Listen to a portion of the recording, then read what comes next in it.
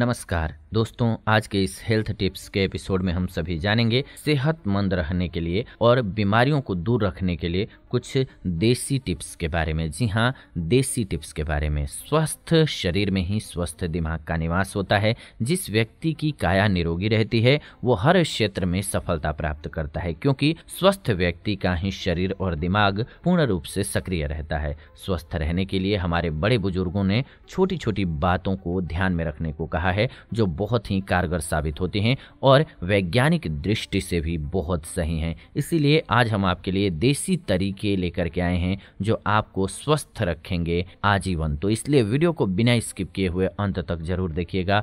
कमाल की वीडियो है आपके लिए। पूरे जीवन काम आएगी और पूरे जीवन में आपका लाखों रुपया बचाएगी। क्यों? क्योंकि आप स्वस्थ रहेंगे तो आपके पैसे भी नहीं जाएँगे, आपका स्वास्थ्य बेहतर रहेगा तो अपने लाइफ को एंजॉय भी करेंगे। तो इसलिए वीडियो को बिना स्किप किए हुए अंत तक ज़रूर देखिए और हमारी इस मेहनत के लिए प्लीज़ वीडियो को लाइक कर दीजिए। मुझे लाइक करेंगे तो बहुत खुशी मिलेगी और आगे आपके लिए अच्छी वीडियो लेकर के आने की प्रेरणा मिलेगी तो ज़रूर कमेंट करके अपने मनोभाव भी हमें बताइएगा। आपकी राय हमारे लिए बहुत वैल्यूएबल होती है। आप देख रहे हैं आयुर्वेदिक उपचार चैनल। आइए दोस्तों, अब टिप्स के संबंध में जानते हैं। सबसे पहले तो तांबे के बर्तन में पानी पीना काफ़ी फ़ायदेमंद होता है। तांबे में बैक्टीरिया नाशक गुण होता है, जो कि संक्रमण होने से बचाती है। तांबे के बर्तन में रखा हुआ पानी लीवर के लिए काफ़ी स्वास्थ्यवर्धक होता है, और जब हमारा पेट स्वस्थ रहेगा तो हमारा पूरा शरीर स्वस्थ रहेगा। इसीलिए तांबे के लोटे में पानी पीने में क्या बुराई है, क्या हर्ज है?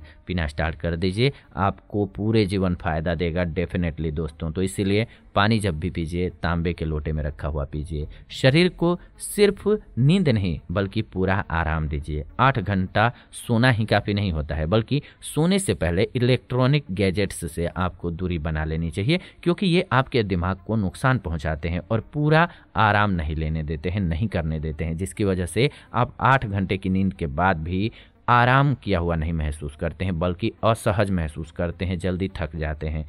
खाने पर ध्यान देना चाहिए। जी हाँ ज़रूरत से ज़्यादा खाना आपके शरीर को नुकसान पहुंचाता है। इसीलिए अपने शारीरिक कार्यों के हिसाब से ही आपको आहार निर्धारित करना चाहिए। कम और हल्का खाना खाइए हमेशा ही, जिससे कि पेट भी सही रहेगा और वसा या फिर मधुमेह जैसी समस्या भी नहीं होगी। यानी कि आपको मोटापा भी नहीं सताएगा, नहीं तो मोटापा अपने आप में हज़ार बीमारियों की जड़ होती है। सीधे बैठिए। जी हाँ हमें अपने दिन का सबसे ज़्यादा समय बैठ करके गुजारना होता है। अगर इस दौरान आपकी कमर या फिर शरीर की मुद्रा सही नहीं होती है तो अन्य अंगों पर अतिरिक्त दबाव पड़ता है और दर्द की शिकायत होने लगती है। इसलिए बैठते हुए कमर को बिल्कुल सीधा रखिए, नहीं तो पॉस्चर प्रॉब्लम की वजह से बहुत से लोग प्रॉब्लम में आ जाते हैं। ये बातें छोटी लगती हैं, पर बहुत कमाल की हैं, पूरे जीवन काम आती हैं। तो इसीलिए ये वीडियो हम लेकर के आए पोस्चर के संबंध में हमने इस चैनल पर आपके लिए एक कंप्लीट एपिसोड बनाया हुआ है, जिसमें पोस्चर के संबंध में बताया हुआ है कि हमारा बैठते वक्त कैसा पोस्चर होना चाहिए, सोते वक्त कैसा होना चाहिए और खड़े रहने में कैसा होना चाहिए, ये बेहद ज़रूरी है। आप एक बार वीडियो ज़रूर